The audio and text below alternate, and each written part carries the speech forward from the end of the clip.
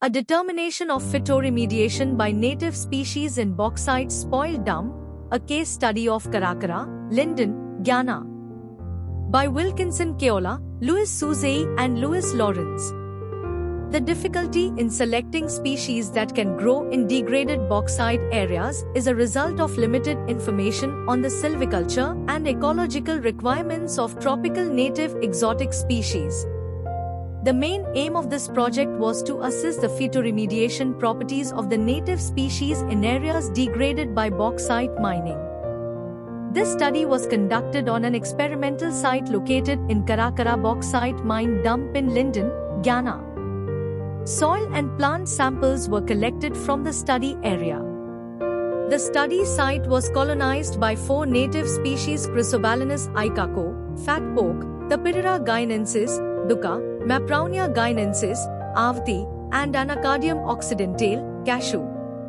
One-way ANOVA from Statistix 10 software package was utilized to compare the heavy metal concentrations at two soil depths, 0 to 15 cm and 15 to 30 cm. Very low levels of heavy metals presence were observed from the results of soil analysis in the study area. Lead, Pb, recorded the highest heavy metals concentration, 13 ppm, in the soil. Cadmium, Cd, had the lowest, 0.3 ppm when compared to arsenic as and mercury Hg which had 3 ppm and 1 ppm respectively. The presence of heavy metals arsenic and mercury was found in plant tissues of the four species that colonized the study area. Avati and cashew had the highest heavy metal concentration of arsenic with 4 ppm for Avati and 3 ppm cashew. The concentration of the other three heavy metals was too negligible to report on. In conclusion, the four native species Chrysobalanus icaco, fat pork, Tapirira guianensis, dukkha, Maprounea guianensis, avati, and Anacardium occidentale, cashew, have the ability to phytoremediate arsenic and mercury however not cadmium and lead. More trials needed to be conducted at different bauxite mine sites on the two species Avati and Cashew for phytoremediation and rehabilitation.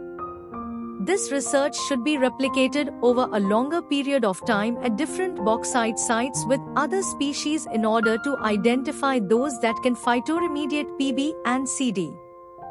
Mycorrhizal association determination should be conducted on plant roots at depths greater than 30 centimeters in the soil profile and on finer roots to identify the mycorrhizae in the species on the bauxite mined out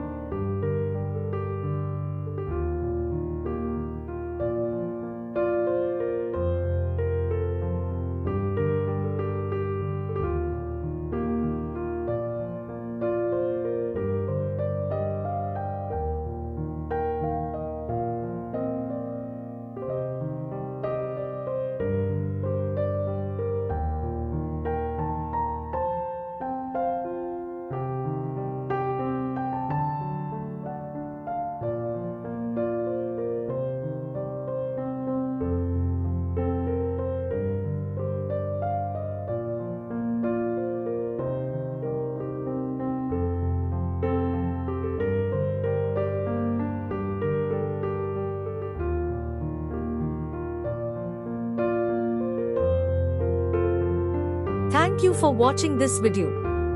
Please subscribe our channel for watch more scientific research videos.